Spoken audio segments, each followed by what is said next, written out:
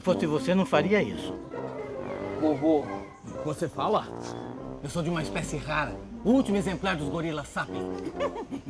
Se você me matar, seria uma espécie a menos. Você nunca ouviu falar de biodiversidade? Já ouvi, mas nunca prestei atenção. Com certeza não leu a Agenda 21. Vem aqui que eu vou te contar. A diversidade é responsável pelo equilíbrio dos ecossistemas. O planeta Terra depende dessa variedade de espécies e paisagens. Não, mas eu sou a favor da diversidade das espécies. Ó, meu chapéu é couro de jacaré. É, meu, cinto é pele de onça. Calma, para, para, para. Meu sapato é lontra. Você é um zoológico ambulante? Eu vou te denunciar pro Ibama. Imagina, bicho, planta, isso tem em tudo quanto é lugar. Ó. Matei. A natureza é como uma sinfonia. Se você tira daqui, desafina dali.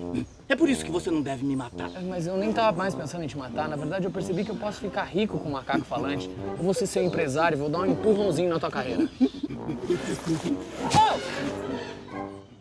O homem aqui tá precisando de um empurrãozinho para pensar mais na natureza.